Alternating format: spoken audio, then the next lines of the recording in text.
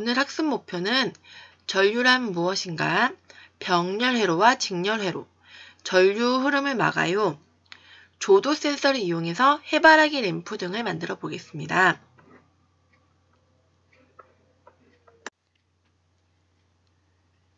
전류란 양전하의 흐름을 말합니다. 전지에는 마이너스 극과 플러스 극으로 나뉘는데요.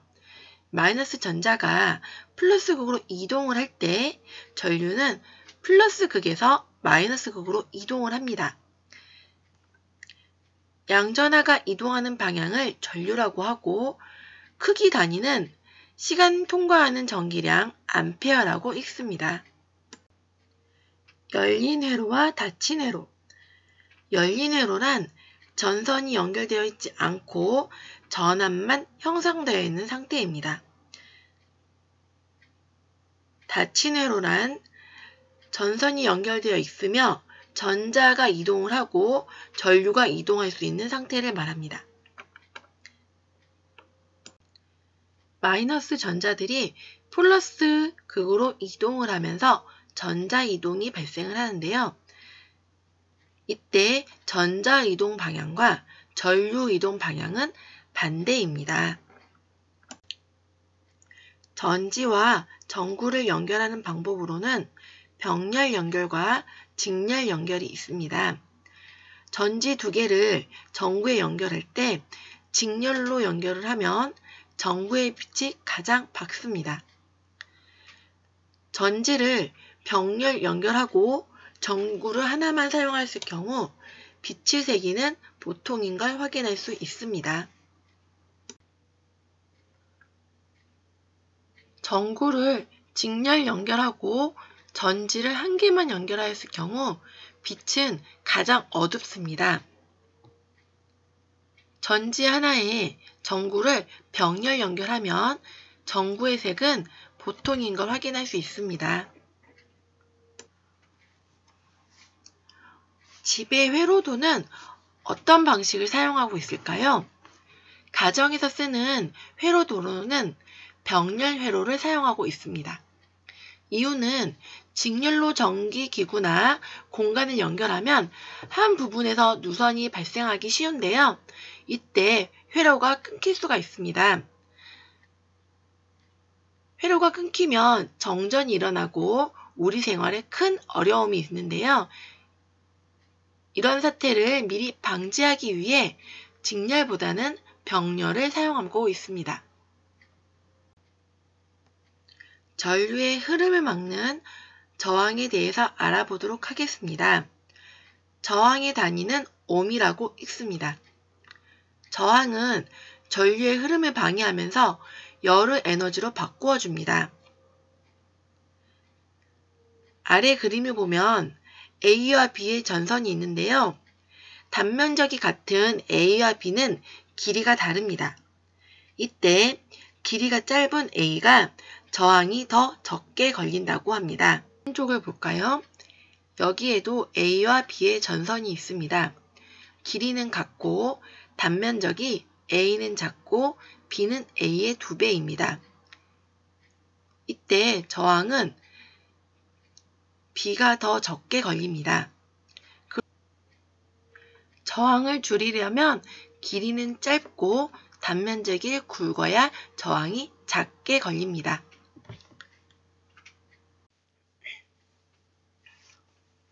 전류의 흐름을 막는 부품에는 어떤 것들이 있는지 알아보도록 하겠습니다.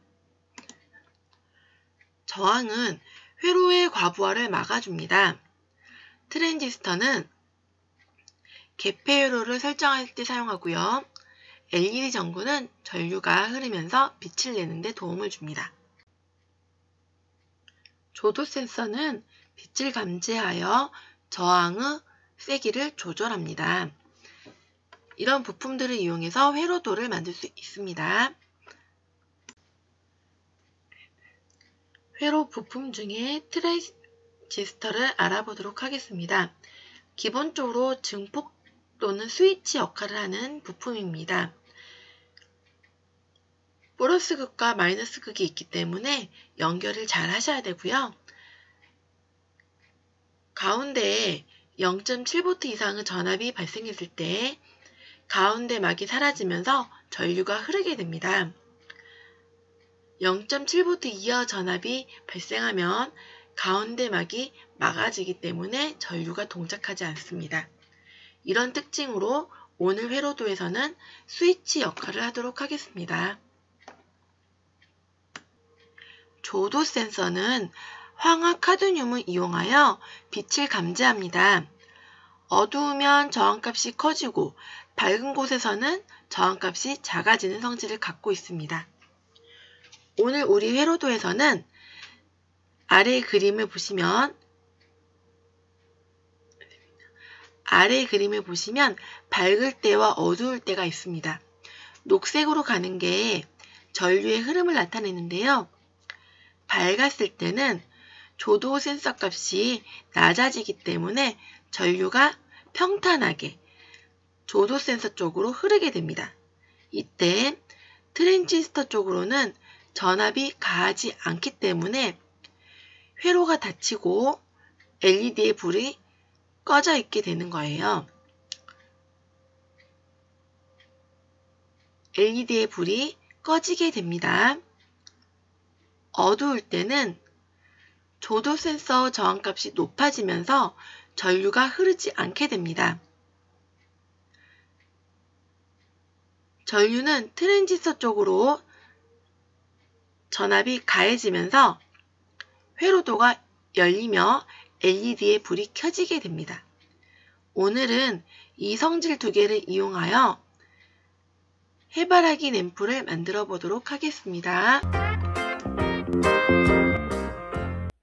오늘은 해바라기 램프를 만들어 보겠습니다. 준비물로는 전도성 펜, 해바라기 도안, 전지, 트랜지스터, 조도 센서, 저항, 삼색 LED가 필요하고요. 기타로는 광 케이블, 빨대, 스카치 테이프, 가위, 실리콘 고정핀, 양면 테이프가 필요합니다. 자, 준비가 되셨다면 만들어 보겠습니다. 먼저 도안 중에서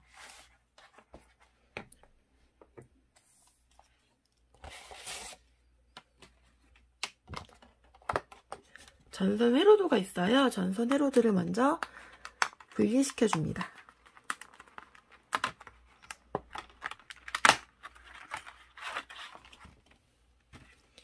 자, 분리가 되었다면 이 회로도를 먼저 만들어 볼게요.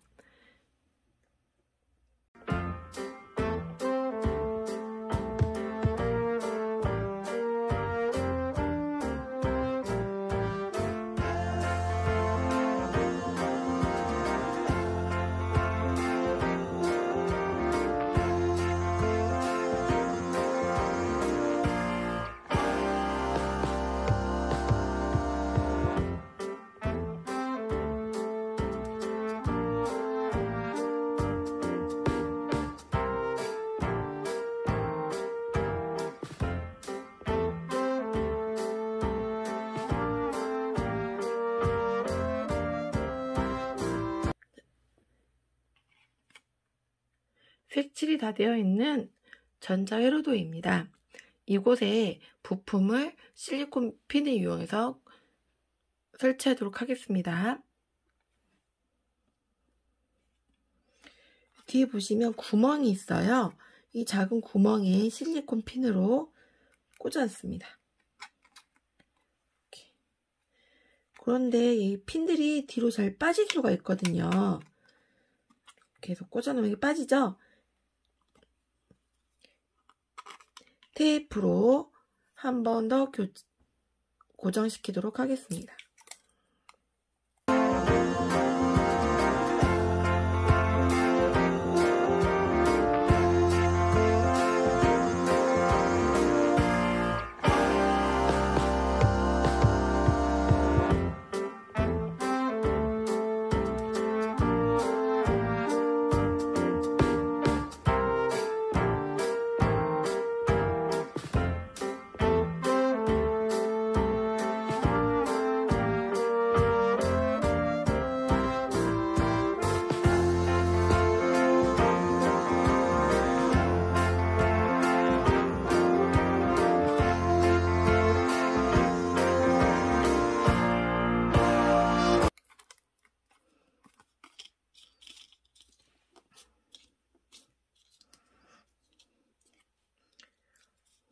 핀을 다 꼽아 놓고 전지를 연결할 건데요. 전지가 보시면 플러스 극은 글씨가 적혀 있어요. 이렇게 글씨가 있는 쪽이 플러스, 글씨가 적히지 않은 쪽이 마이너스입니다. 그러면 글씨가 적힌 쪽이 플러스니까 이렇게 해서 플러스 쪽에 꽂고요. 고정핀으로 꼭 눌러서 고정을 시킵니다. 천천히 눌러주셔야 돼요. 이게 휠 수가 있거든요.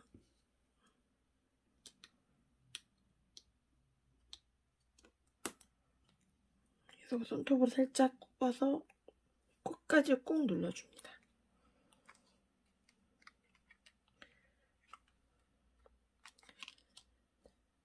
그리고 LED와 저항이 있는데요. 우선 LED는 극성이 있어요. 중간에 보시면 긴 꼬리가 있는 쪽이 마이너스, 짧은 쪽이 플러스입니다. 플러스 쪽을 오른쪽으로 이렇게 두시고 이쪽에 놓고 구멍에 맞춰서 꼽습니다. 살짝 불러지지 않게 중간을 휘어서 위로 올라가게 꼽아줍니다. 이쪽은 살짝 휘어서 살짝 디귿자 모양을 휘운 다음에 맞는 위치에 꼽아줍니다.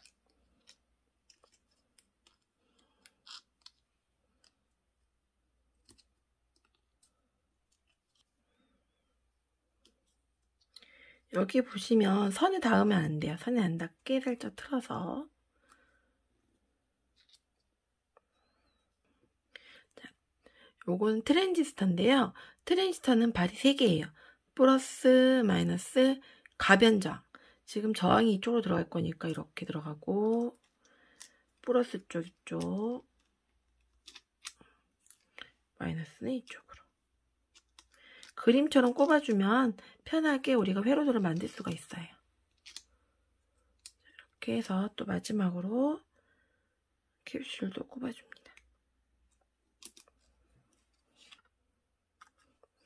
마지막으로 조도 센서를 부착시켜 줄 겁니다.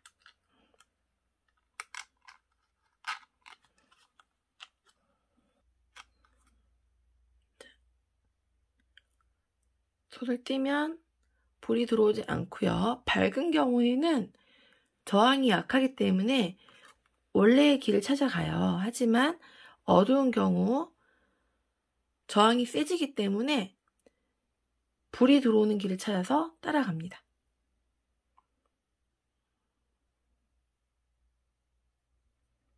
이렇게 해서 회로도는 마치도록 하겠습니다.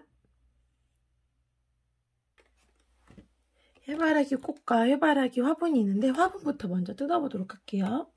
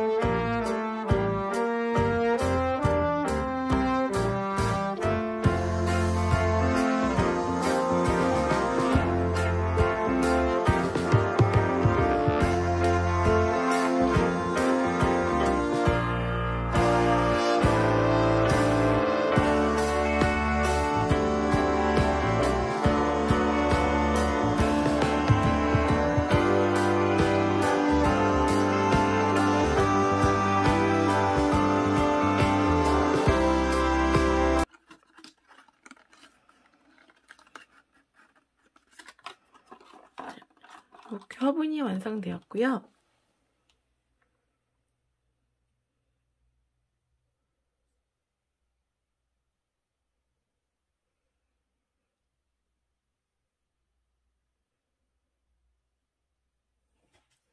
화분은 잠시 옆에 두고 빨대와 광섬유를 준비합니다. 빨대는 이 높이에서 이 정도 15cm 정도 잘라볼게요.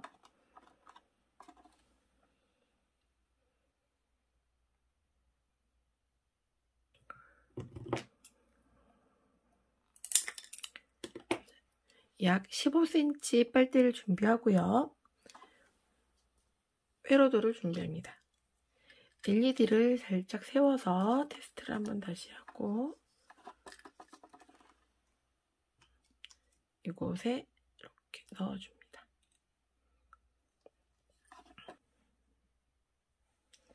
준비가 되었으면 이곳과 화분을 연결해 줄 건데요.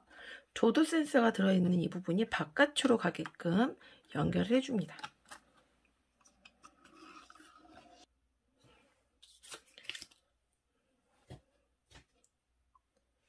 그 다음 해바라기를 만들어 주겠습니다.